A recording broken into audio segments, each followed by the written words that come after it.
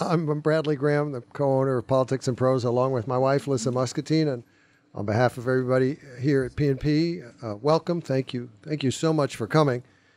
Uh, you are about to hear a truly incredible story, one that is, to be honest, virtually impossible for most, if not all of us, to imagine.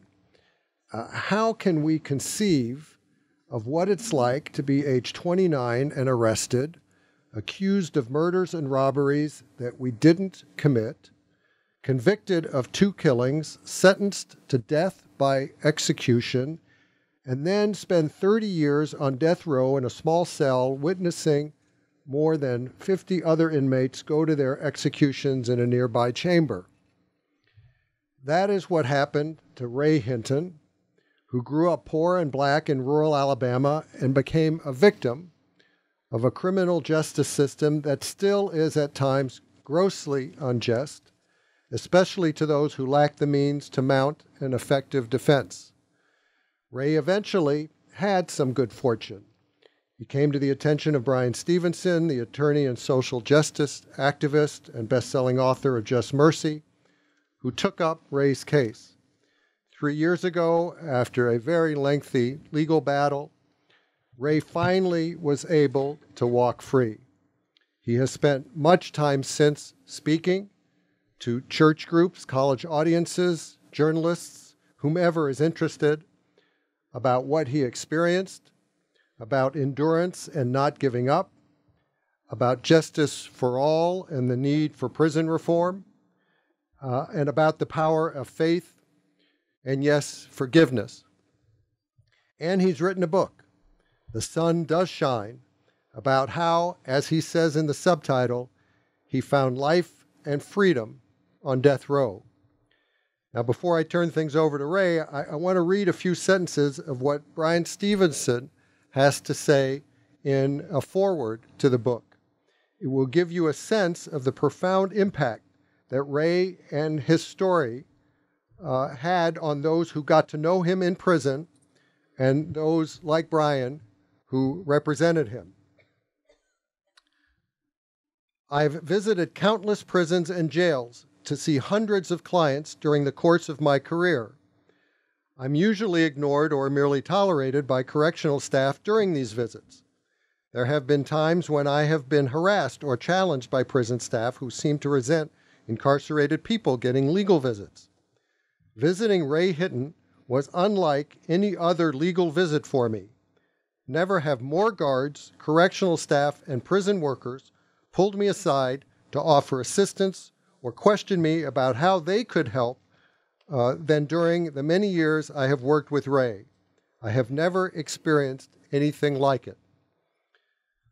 Uh, and Bryan goes on further to say, I have represented scores of condemned prisoners during my 30 years of law practice. Many of my clients were innocent people, wrongly convicted or condemned. However, no one I have represented has inspired me more than Anthony Ray Hinton and I believe his compelling and unique story will similarly inspire our nation and readers all over the world. Ladies and gentlemen, please join me in welcoming Ray Hinton.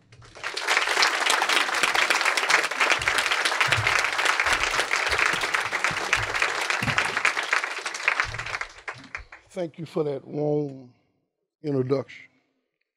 What he forgot to tell you that this book is the second best book that ever been written. I promise you that. And I brought a lawyer here tonight, and at least she came with me, and she worked for EJI. And if you buy this book, and if you don't enjoy and agree with me that this being the second best book that ever been written, I'll give you her number later, and she will refund your, your money. But 30 years ago, the state of Alabama came and kidnapped me. 30 years ago, I would love to look you in the eye tonight and tell you that the state of Alabama made an honest mistake. I would like to tell you tonight that race had nothing to do with me spending 30 years of pure hell in a five by seven. But the state of Alabama didn't make an honest mistake. The state of Alabama knew that I was not the person that had committed the crime. In fact, one of the detectives is quoted as saying, We didn't get the right one, but at least we got one off the streets. And I spent 30 years of pure hell in a five by seven. All because I was born black and poor. Whether you want to accept it or not, we have two sets of laws in this country. For those of you who've been blessed with money, you can buy justice. For those of us who was born poor, we are the one that the prosecutors, the police picks up every day and send you to prison and as well as death row. But this happened one day on a hot day in Alabama, and I don't know how many of you ever been to Alabama, but I'm gonna give you a free tip tonight. If you haven't been to Alabama in July, take my word, do not go. it is far too hot in Alabama in July. But my mother had made some lemonade and it was beyond hot. I goes inside and I get me a glass of lemonade. And my mother looked at me as I was pouring this lemonade and she asked me, Was I going to revival tonight? And I said, Yes, ma'am. For in the South, we say, Yes, ma'am, no, ma'am, yes, sir, and no, sir, out of pure respect. And I got this lemonade and went outside. And 15 minutes later, I brought the glass back inside. And there my mother was again in the kitchen. She said, What time revival start tonight? And I said, 7 o'clock, mama. She said, Well, you got time to go out there and cut that grass. Being the baby of the family, I thought I would give my mother this baby look and she would change her mind. And I looked at her and I said, Mama, I promise you, I will cut that grass tomorrow. My mother looked at me and she said, I'm trying my best to see how you got. You'll cut the grass tomorrow. Out of me telling you to go cut the grass. And she gave me that look that only she could give me, and I knew exactly what it meant. And finally, she said, Boy, you better get out there and cut the grass. I cut this grass, and about 25 minutes into cutting the grass, I, I just happened to look up, and there stood two white gentlemen that I'd never seen before. I cut the lawnmower off, and I said, Can I help you? One of them replied, We're looking for Anthony Ray Hinton. I said, That would be me. How can I help you? Then they identified themselves as two detectives from the Birmingham Police Department. I said, again, how can I help you? They said, we have a warrant for your arrest. And I said, for what? They said, we'll explain that to you later, but right now we want you to put your hands behind your back.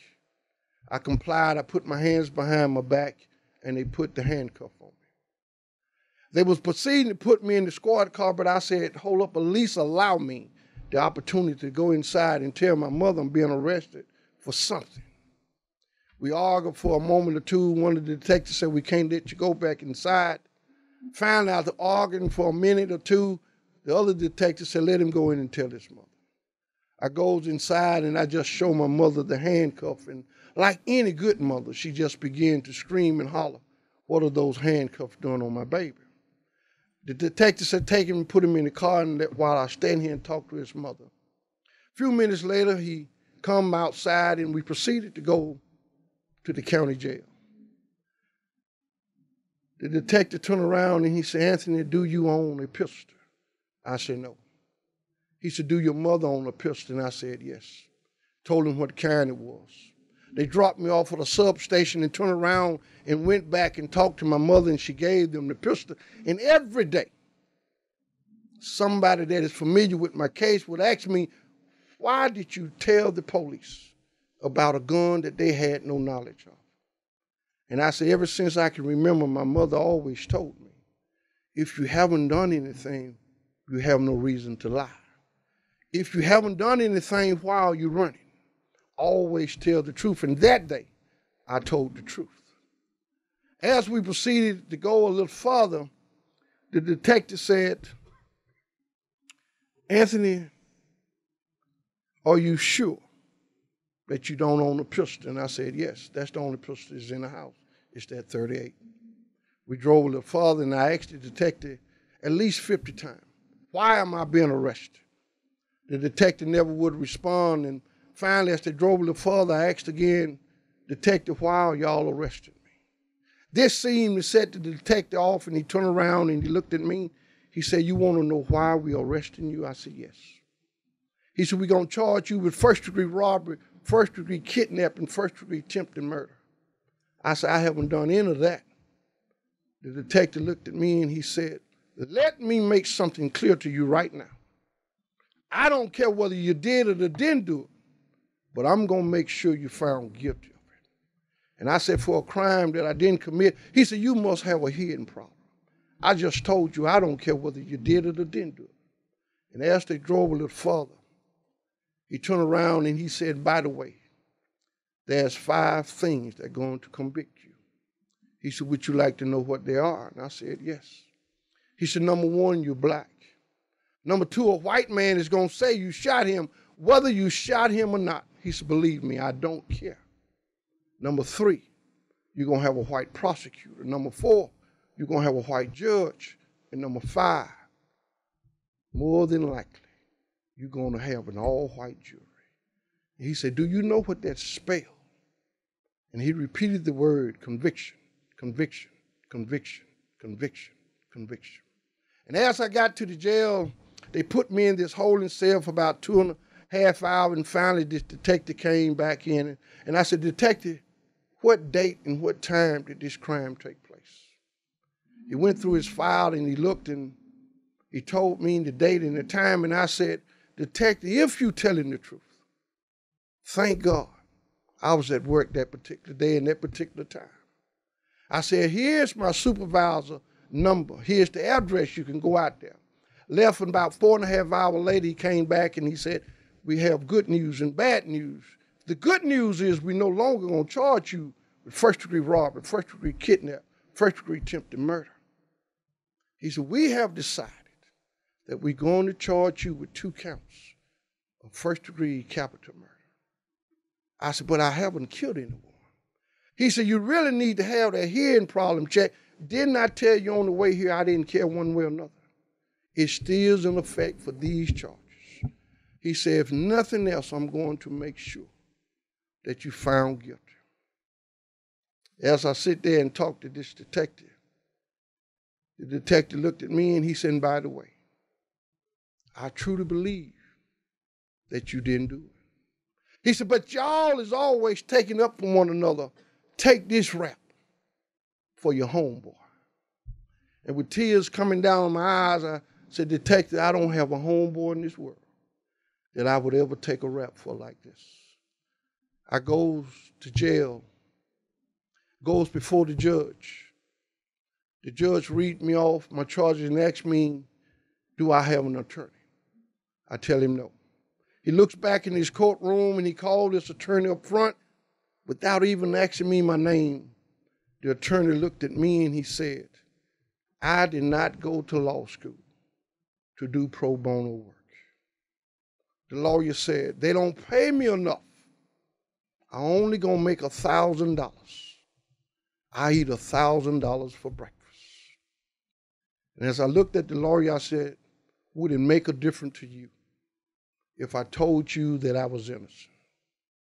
The lawyer looked at me and he said, The problem with that statement is all of y'all, y'all always doing something and then saying you didn't do it. This is the lawyer that I had to depend on to try and prove my innocence on two counts of capital murder. I go to trial and they find me guilty of two counts of capital murder. The judge proudly stood up that day and said, Anthony Ray Hinton, you have been found guilty on two counts of capital murder. It is the order of this court that we sentence you to death.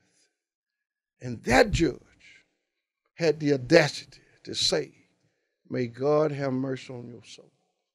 The prosecution ran out that day and told the media that the state of Alabama got the worst killer that ever walked the streets off the streets that day. but only it wasn't true. On December 17, 1986, they transported me to Holman Correctional Facility. Once arriving there for the next three years, I didn't say another word to a human being. I went in this dark place. I was mad with everybody. I was more angry with God than anybody. I kept believing in what my mother had told me as a boy that God can do everything but fail. And as I sit there in silence, I begin to ask, Where is you now, God? How is it that you can allow this to happen to me? Going into the fourth year, I woke up to the sound of a grown man crying, a man that I had lived by for three years and never asked him his name or where he was from. I wasn't there to get to know anyone. I wasn't there to befriend anyone. All I know that I was there for something that I didn't do. And the state of Alabama knew that I didn't do it. But at an early age, my mother had taught me compassion. She said, no matter what one does in life, he or she still deserve compassion. And through this brick wall, I hollered through this man and I asked him, was something wrong? Took this man a while to reply, but later he said, I just got worried that my mother passed. I told him how sorry I was to hear that, and I told him that if anyone was going to argue his case, it would be his mother. And I told him a little corny joke, and we both kind of laughed, and I laid back down. I woke up again about 6 a.m., and I realized that my voice was back. My sense of humor was back. All of my life, I tell people I was born with two things, if nothing else, in this world. I was born to a mother who loved at me unconditional. And I always have had a sense of humor. I don't care how young you are, how old you are, how beautiful you are. If I'm just happen to be there and you walking and you kind of fall, I'll be the first one to run and help you up, ask you, are you okay? But the moment you say I'm fine, I'm gonna laugh at you for falling. oh, I'm gonna do that. I think laughter is good for the soul. And so that morning, the state of Alabama was in the process of executing four men, and I never will forget. I called this guard up to my cell and I said, Your officer, is there anything you can give me for this smell? He looked at me and he said, There's nothing I can give you. He said, But if there's a consolation, you'll get used to smelling the human flesh being burnt. He looked at me and he said, and by the way, one day somebody will smell your flesh burning. And it was at that moment when he's told me that I decided that since I couldn't escape physically, I would escape mentally.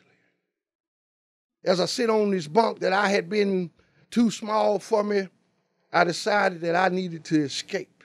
And I looked at my body and I said, Body, the mind need to leave in order to survive. And it was as though my body looked up at me and said, Do you promise to come back? And I said, Of course I'm coming back. I got to check on this case. And the moment my body gave me permission to leave, off I went. Of all the places in the world to travel in your mind, I wanted to go see Queen Elizabeth. Now, please, later on, do not come up to me and ask me why a 29 year old black male want to see Queen Elizabeth. I don't know. But that's who I wanted to see. And in my mind, I went to the palace, told the guard that I was there to see the queen. The queen told him to show me in. In my mind, I sit down and we talked about Prince Charles, Prince William, Prince Harry, and of course the tragedy of Prince Di. After about 45 minutes of talking, the queen realized that she hadn't offered me anything to drink. And finally, the queen looked at me and she said, Mr. Hinton, would you like some tea? And I told the queen I would love some tea. Once I realized that I could go anywhere in my mind, I decided that I would do something that as a little boy I said I would never do, and that I would never get married. But I decided that I would marry, and I married the beautiful and talented actress, Halle Berry. Halle Berry and I stayed married in this mind for 15 long beautiful years. And if ever there was a perfect wife, she was the perfect wife. Halle Berry, in my mind, always said, Yes, dear, and whatever you want, dear. And what I loved her the most, she didn't spend no money. and then the prison did something that it rarely do for death row inmates. They showed us a movie, and the movie was Speed. And there, for the first time, I lay eyes on Sandra Bullock. In my mind, I could see Halle Berry sitting beside me, and I'm looking at Halle and I'm looking at Sandra Bullock. I'm looking at Halle and I'm looking at Sandra Bullock. It was as though I was looking at a tennis match. I knew that I, in my mind, I had to tell Halle some bad news. I watched this woman drive this big old bus, and I got to thinking, imagine what she could do with a getaway car. And so I told Halle that I was going to divorce her and marry Sandra Bullock. And by that time, the guard was standing there and he was calling me and he said, Anthony, I've been calling you for 10 minutes. He said, Where are you? I said, I was gone. What is it? He tell me I have a legal visit. I said, the state of Alabama do not appoint you a legal visit during post conviction. He said, Well, Anthony, somebody's out there pretending to be a lawyer. Go out there and see who it is. I goes out there and the lawyer introduced himself to me and he tells me that he is from Boston. I asked him who sent him. He tell me a man by the name of Bryan Stevenson. I said, who is Bryan Stevenson? He tell me about Bryan Stevenson and Equal Justice Initiative in Montgomery, Alabama. He tells me about the work they do, and he tells me how good this Bryan Stevenson is. I said, I don't know Bryan Stevenson, but he can't be that good. He said, why you say that? I said, well, Bryan Stevenson have already made one fundamental mistake. I said, Did you not say you were from Boston? He said, Yes. I said, Well, had this great Mr. Bryan Stevenson would have checked with me first, he would have known that I am a beloved Yankee fan. and there's no way a Yankee fan and a Boston fan could ever do anything together.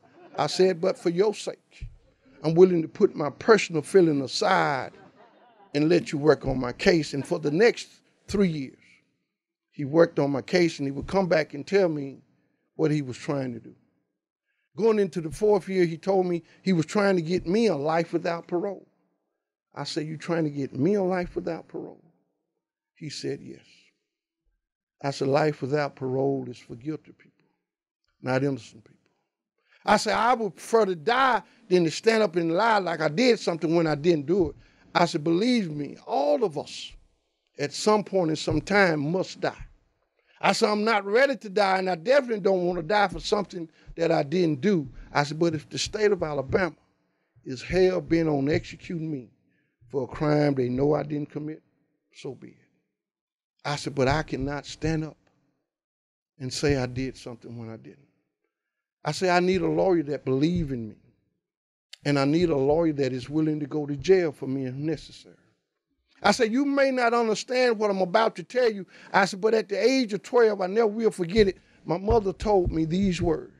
She said, If you man enough to bend down and pick up a rock, and if you man enough to throw that rock, you should be man enough to say you throw that rock. I said, This is one rock I didn't throw. Therefore, I could never say that I threw this rock when I didn't. And I looked at this lawyer and I said, Today, I have no choice but to fire you. I said, I appreciate everything you did, but I need a lawyer that believes in me. And as I was going toward the back, something in my mind said, You got to be the dumbest person in the world. You fired the only lawyer that you had, and just as that thought entered my mind, another thought said, You did the right thing. Always stand up for what you believe in, always stand up for principle as I get closer to my cell, the guard is watching TV, and there is Bryan Stevenson. Bryan Stevenson was talking about why we don't need a death penalty in this country. And as I listened at this man, for whatever reason, I knew this is the man that I needed to represent me. Later that night, I wrote him a letter and thanked him for sending this lawyer, and I asked him, would he consider becoming my lawyer? And I said, but before you say yes or no, read my transcript. And if you find one thing in my transcript that point to my guilt, do not worry about becoming my lawyer. Do not send me a lawyer. I am willing to die for something that I didn't do. Three months later, I get a reply that he would read my transcript. Five months later, I get a letter that he would be coming to see me. Ladies and gentlemen, I cannot explain it, but the moment I shook this man's hand, I knew that God had sent me his best.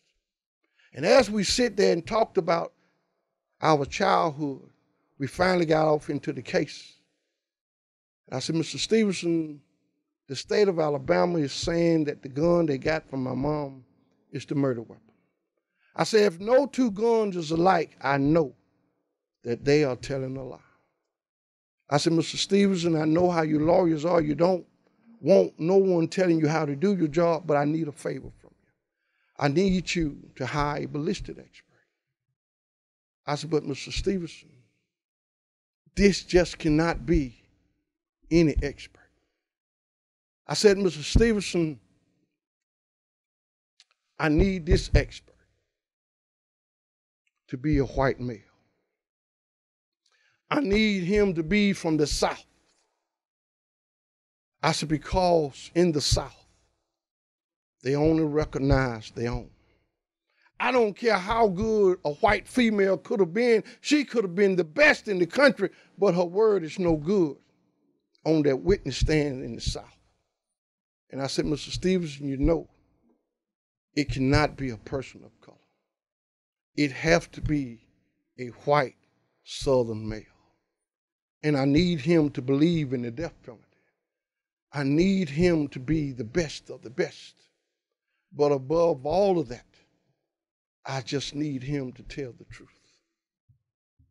Mr. Stevenson left that day and told me he would try and find that expert. About three to four months later, I called him and he told me he found two experts, three experts, two from Texas and one from Virginia. He told me that he, the expert, was the best of the best. He said, but I need to inform you of something. These three experts testify 98% of the time for the prosecution. They never have testified for the defense. He said, Are you sure these are the experts that you want? I said, Yes. I said, Mr. Stevenson, did you remember to ask them, would they just tell the truth? He said, They said they would do exactly and say what the evidence showed. I said, If you can, then hire these three experts. They came to Alabama on three separate occasions. They did the finding. They even tried to make the gun match, and it still wouldn't match. We take this new evidence before the Attorney General, who was Bill Pryor at the time, asked him to re examine the evidence, and he said it would be a waste of the taxpayer money to re examine the bullets, and it would be a waste of his time to take one hour to re examine those bullets. And for not doing his job, George W. Bush appointed him to a lifetime federal judgeship. We went before another attorney general by the name of Troy King, and he too refused to take one out. He lost in the next election. We go to a man by the name of Luther Strange. He too refused to take one hour, and his reward was he got promoted and took Jeff Sessions' seat. I spent another 16 years in that hell because my life didn't matter. And one day, Mr. Stevenson came to me and he said, Ray, the state of Alabama refused to do what is right. We got to take your case to the United States Supreme Court. He said, But I need to tell you if the United States Supreme Court rule against you, more than likely within two years, the state of Alabama will execute you. I said, Mr. Stevenson, take my case to the court. Two years after filing to the United States Supreme Court, the United States Supreme Justice did something they have never done in the history of the courts. All nine justices rule in my favor. And I do stay up at night. I still can't believe Clarence Thomas ruled in my favor. but he did. He did that. But all nine justices ruled in my favor, and they sent my case back to Alabama. We go before the judge. The state of Alabama stands up and say, Your Honor, it is with deep sadness that we inform this court that we have lost the gun in question. The judge give him amp time to find it. She set another date. We go before him. And they stands up and say, Your Honor, it is with deep pleasure that we inform this court we found the gun. But it is only with sadness that we inform this court that we have lost the bullets that goes to the gun. All of this time I'm sitting in prison and they playing a game. And while we were thinking they was looking for the bullets, the prosecution called one of his own expert that had testified 30 years ago to come back and re-examine the bullets. He comes back and he re-examined the bullets and he said, I don't see what I saw 30 years ago. Ladies and gentlemen, he saw exactly what he saw 30 years ago. The bullets didn't match 30 years ago, and it wasn't going to match 30 years later. The state of Alabama had every intention of executing an innocent man, but they ran against two problems. Number one, they didn't know that I had a personal relationship with God. Number two, they didn't know God was going to send me EJI and Bryan Stevenson. And once they came up against that, only then did they notify the judge that they was dropping all charges against me. The state of Alabama was seeking the death penalty. The state of Alabama kept me away from the woman that I love more than anybody, my mother. My mother passed in 2002. The state of Alabama was seeking the highest justice that they could seek. The state of Alabama was seeking my life. And today, I have to come to Washington, D.C. And I have to ask you, where's my justice? Who do I seek justice from? The state of Alabama to this day haven't even had the decency to say that they sorry. 30 years of my life. For what? Because I was born black. 30 years of pure hell. 54 men and one woman walked past me on their way to the death chamber. Men and one woman. And then I had to smell their flesh burning because my cell was 30 feet away from the death chamber. In this book, I writes about hope. I write about what death row taught me. That either you love or you hate. Either you help or you do harm. None of us knows the exact second our life will change forever.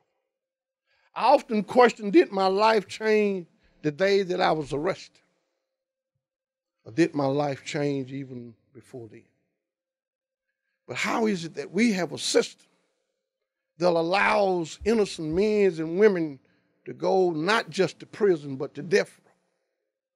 They don't stay overnight, they stay for decades. I was the 152nd person that have been exonerated. How many men and women need to be exonerated before you, as a people, say enough is enough? I am one who believes that what affect me today could very well affect you tomorrow in some way. In this book, I only talks about love because my mother showed me love. My mother was one of the most loving people I ever known. In this book, I talk about how I took my life and began to live. In this book, I put the justice system on trial and show you that we don't have a perfect justice system the way that you might think we have. Oh, yes, she's blind. She would have you to believe she's blind because she have this mask over her eyes. But I'm here tonight to tell you that she can see. She know what race you are. She know what gender you are. She know what college you went to. She know where you live.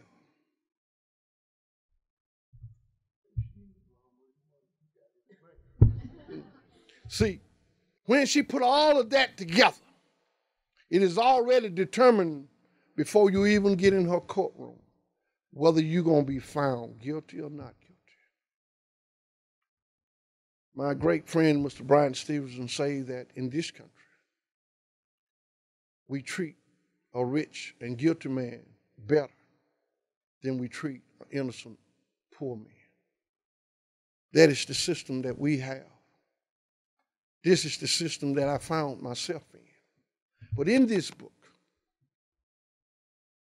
if nothing else, you would read about a story about a man that was a KKK member, a young man that had been taught to hate all his life.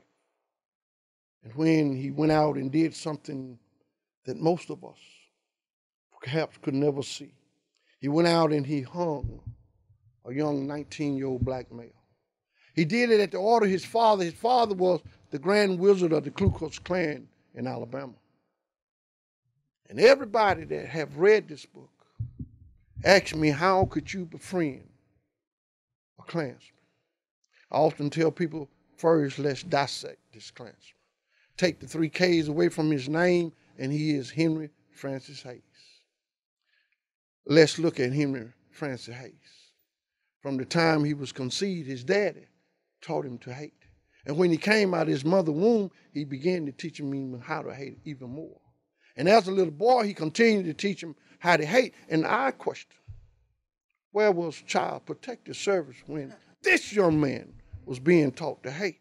Where was this village that we all say it take a village to raise a child? Where was this village when this young man was being taught to hate? But see, my mother taught me to love. My mother said no matter what one does, he or she still deserves compassion. And in my warped mind, I said, if his father can teach him how to hate, why don't I try to teach him how to love? I am so proud to call Henry Francis Hayes my friend because on the night they executed him, Henry Francis Hayes was quoted as saying, when they asked him, did he have any last word? He said, All of my life, my father, my mother, my community taught me how to hate. It wasn't until I came to death row, the very people that they taught me how to hate are the one that taught me how to love. And tonight, I leave this earth knowing what real love feels like.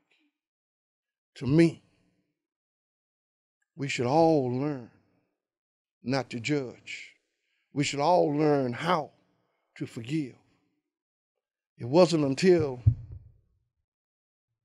I decided that I would pick my Bible back up and read it after three years of dust. I came across a scripture that said, Mark 11 and 24, what things soever you desire when you pray, believe in them and you shall have them. Not one time in 30 years did I ask God to free me. For if I asked God to free me, I thought that would be so selfish of me. God could have freed me if I asked Him to free me in death. And I didn't want to go that way. I didn't want freedom that way. And so what I did was I prayed and asked God to allow the truth to come out. And when the truth came out, I walked out with the truth. Almost 33 years later,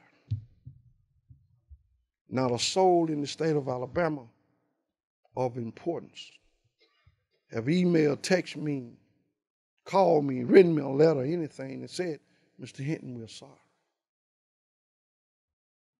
But I refused to let death row define who I was. I refused to let six racist white men define who I was.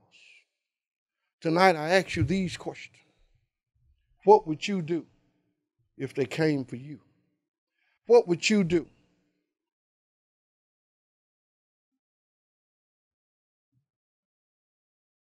If they came and charged you for a crime that you didn't commit, what would you do if you took a polygraph test but no one believed you? What would you do if you didn't have the money to hire a defense? What would you do if the system saw you for the color of your skin than the merit of the case? What would you do if you was found and sentenced to death? What would you do if you had to spend the rest of your life living in a cell the size of your bathroom? What would you do if you spent your whole life waiting to die? How would you survive? What would you do? And what would you do after 30 years? They finally set you free. Who would you be? But more important, what would you be? This book, you need three things when you read this book. You need a box of Kleenex, some Oreos cookies, and some good cold milk. Because I promise you, this book will blow your mind. This book will hold no balls. This book will make you laugh. This book will make you cry. This book will make you question what you truly believe in. In the back of this book, I ask you, can you look at the names and tell who is innocent and who is guilty? Because my name was on this list at one time. And I knew that I was innocent. And every 10 names when you read this book say innocent. We can do better in this country. We owe it to our children and children to make this justice system better. We owe it to our grandkids to make sure that they come up in a system that is fair. If everything, any system, we need the justice system to truly be colorblind, genderblind. We need a justice system that works for all of us and not a few of us. Ladies and gentlemen, thank you for your time.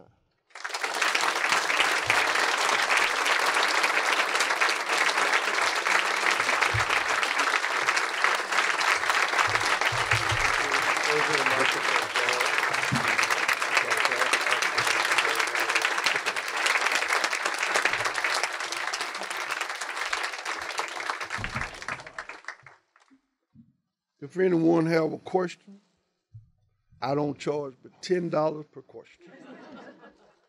and so ask away. Mr. Hinton, thank you very much for being here today, and thank you, and thank you very much for your words. I'm I'm finding reading the book to be truly meaningful.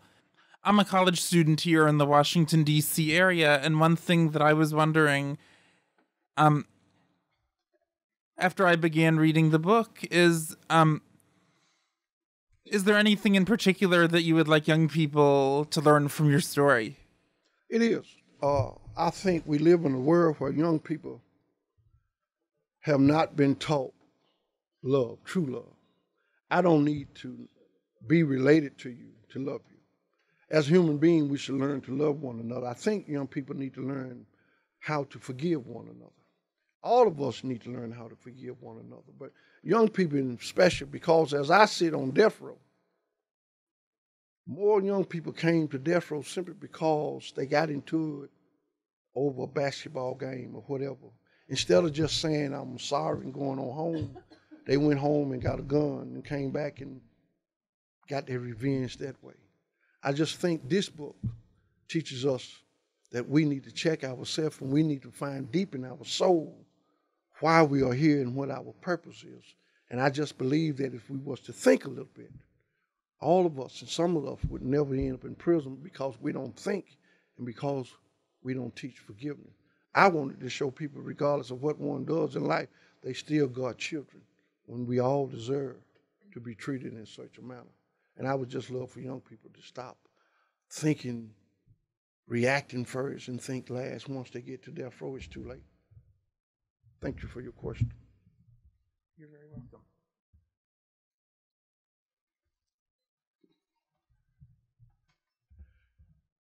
Uh, hello. Hello. Uh, this is actually my second time seeing you. I saw you last summer in Equal Justice Initiative, and it's great to see you again. Thanks. Oh, sorry. um, I was wondering, as a high school student or someone who's becoming kind of an adult soon, what? Shut up. uh, what is the best way to help fight this issue and get involved, or do you know of? Well, I'm gonna call my dearest friend up here. She's a lawyer and tell the best way that uh, you can help out with them. Say, do your homework. Uh, as I probably told you last year, go ahead. and tell them.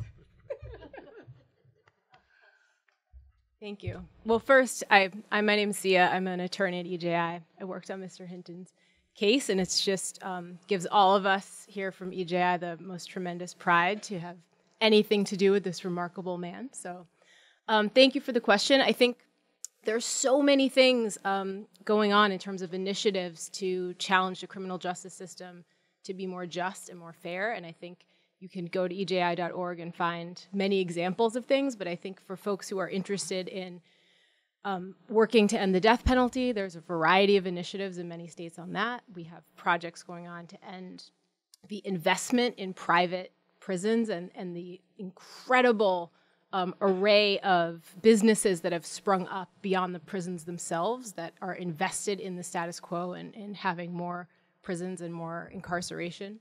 Um, and I think there's a there's a whole range of things related to reentry. Uh, Mr. Hinton hasn't talked as much about his experience coming out of prison after 30 years, but he has faced tremendous challenges with great um, skills and gifts, and um, not everybody has that. And even still, it's it's a tremendous challenge. So there's a variety of organizations doing reentry work, including us, which you can support. And maybe Mr. H, you want to say a little bit about the process coming from Holman to the to the free world. Uh, it was devastating. The thing that got me more than anything is modern technology. Uh, I often tell this story that a true story.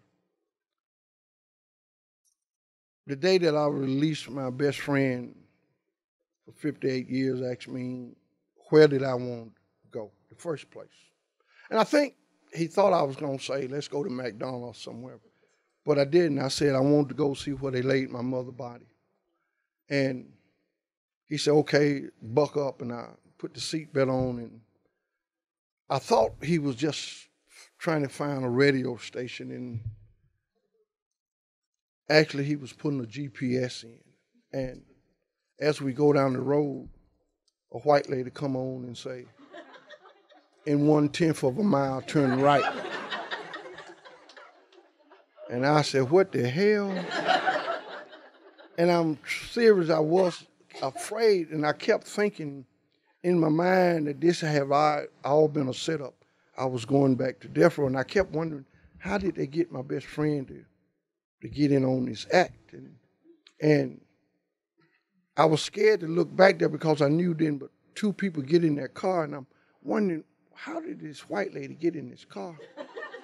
but more important, what's she doing in this car? And I'm trying to look at him, and he laughing, and I'm pointing, and I'm saying, "Oh, white lady back there." and finally, he couldn't take it anymore. He pulled over, uh, and he said, "That's not a white lady. That's just a voice of a white lady. This is the GPS tracking. Anywhere you want to go, all you got to do is put in the address, and she'll tell you how to go." And still not understanding what GPS mean, I said, "Well, how did she get in there?" and modern technology have passed me by, and they uh, give me a phone when I first came home, and I looked at it and said, "What is this?" And they said it's a telephone, and I still haven't been able to catch up with it. Uh, it take pictures, it email, it text, and I often ask young people, for us older generation, why do y'all text anybody when you can just call that person and talk to them. And I think that is one of the things I miss more that we don't talk to each other. We text, and I, I tend to uh, don't text back. I haven't learned how my brother he'll call me, and if somebody else on the line, if I tell him to hold up, well, he can get ready. I'm more likely I'm gonna hang up because I don't know how to go back and get him. But modern technology have exceeded anything that I thought I would come home and experience. Uh, and you just keep hearing this and that, and in prison, uh, you're not expected to come back out. And so, to me, it have been three years of just pure learning how to do a lot of things with the telephone, uh, as well as infrastructure, have been something different. And now, a Walmart is the store that everybody go to and and shop one place, shopping store. So, uh,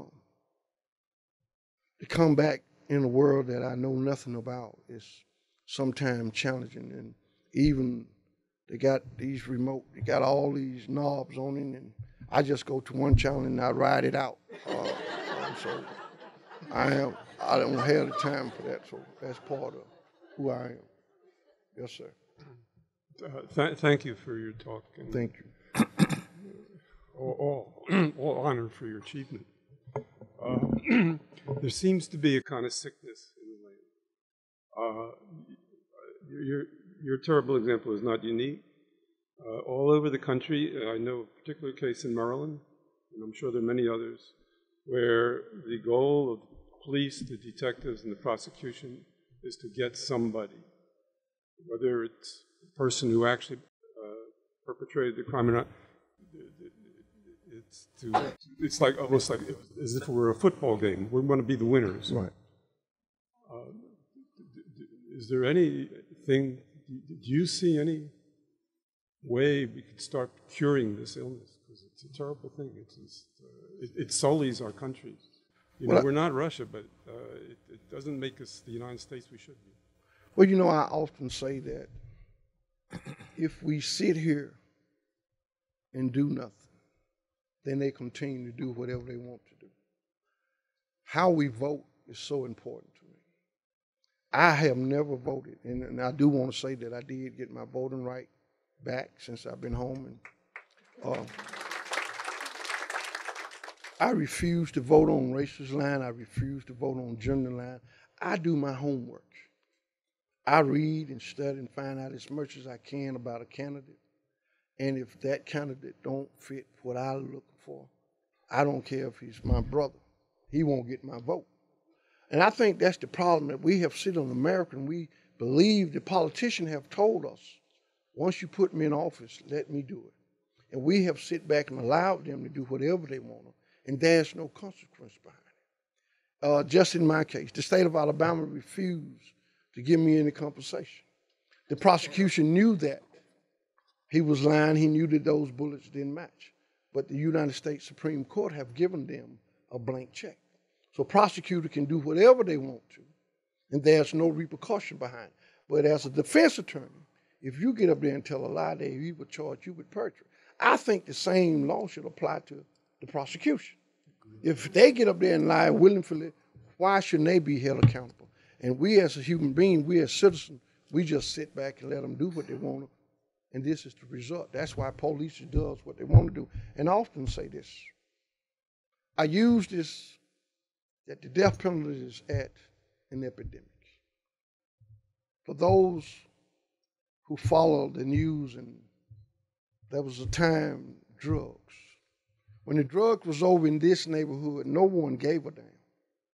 But the moment the drugs came over in this neighborhood, all of a sudden it's an epidemic. And I think that death penalty is at an epidemic. Believe me, ladies and gentlemen, in the South, I can't speak for nowhere else. There are some white men on death row. So I don't want you to sit here tonight and think you're immune and you're exempt in the South. They will put you on death row in a heartbeat. But I just think that we all just sit around and we talk for a moment and we don't take the discussion no further. And come election time, we listen at one second sound bite, and that's who we go to the poll and vote for. And those are the very people that it's not in there for our best interest. It does none of us good for innocent men and women to go to prison. It does none of us good when police have the authority to just shoot you and nothing is done about it. We need to step our game up and we need to make sure that this stops before we all find ourselves in a war that we don't want to be in. May I ask a question here?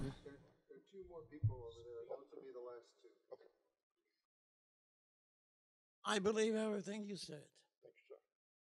Therefore, I don't have ten dollars, but I have five dollars. I'm going to send it your way, and you deposit it for some charitable purpose.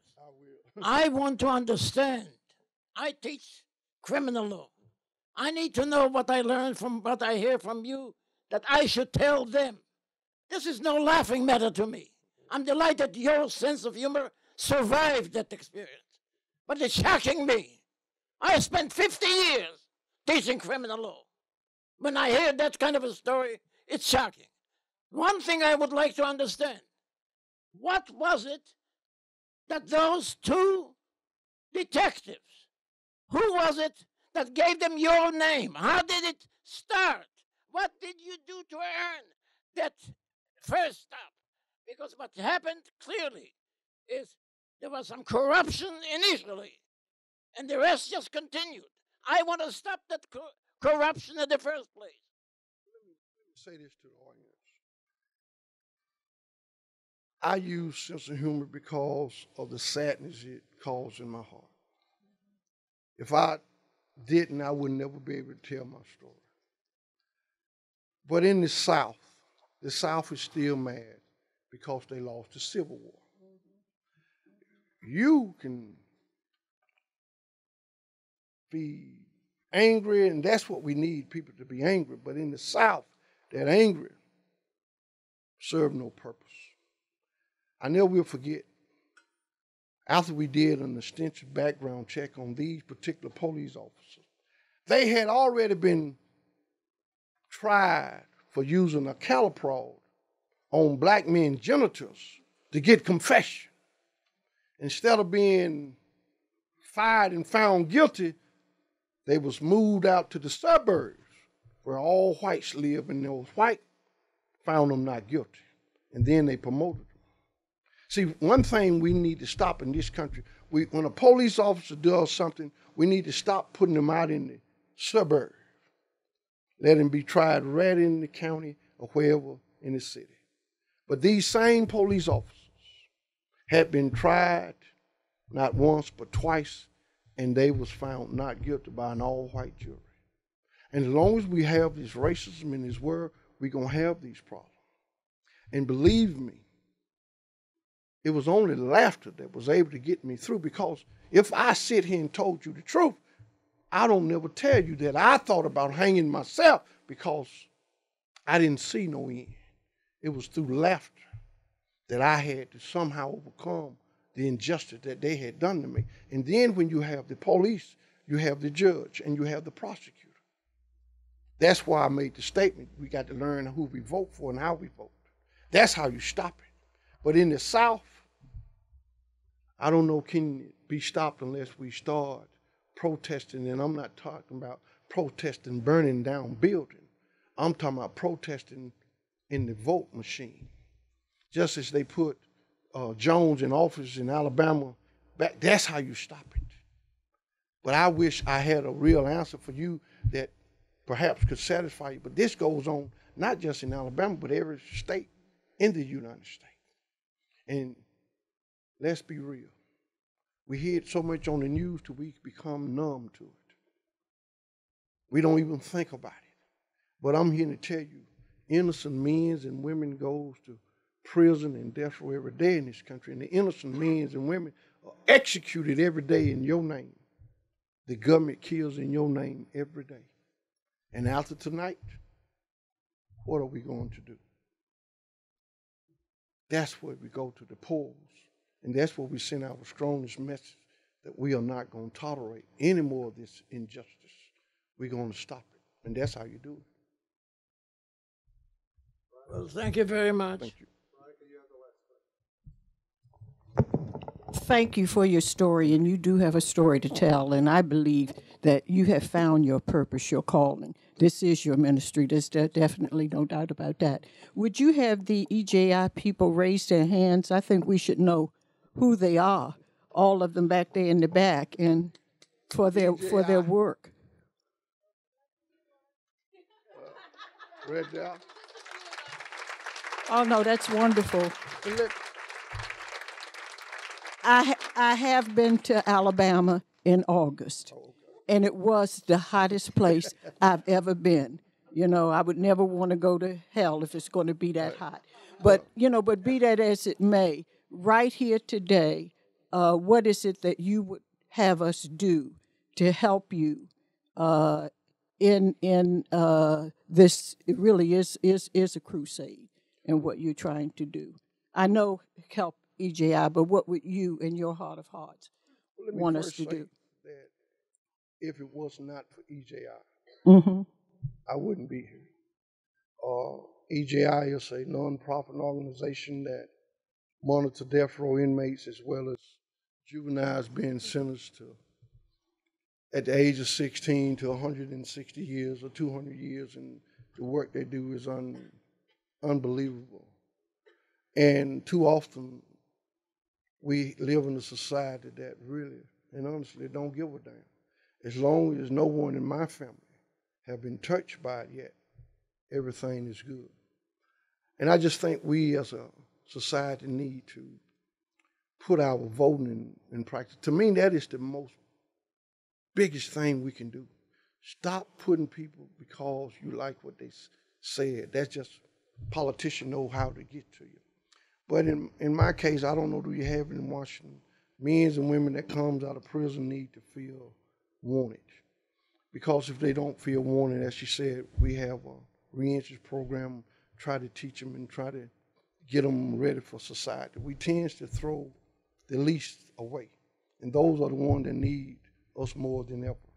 And I just think people that at EJI that believing in me, they can't take every case they have uh, come across, but we need a system where innocent people don't ever go to jail in the first place.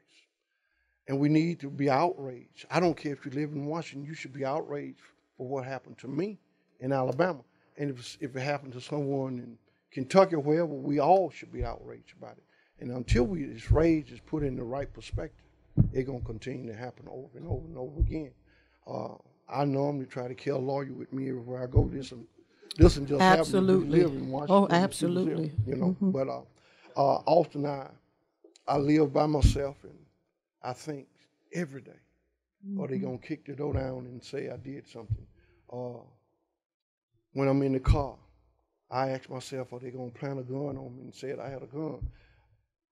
Everybody looks at me and they think I'm free, but I'm not free.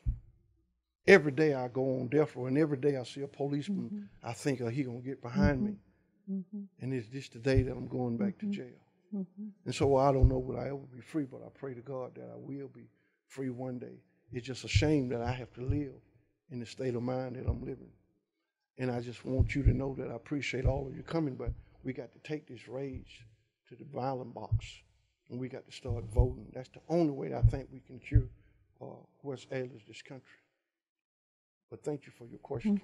And technology has passed me by too, so don't feel badly, okay? Mr. Chair.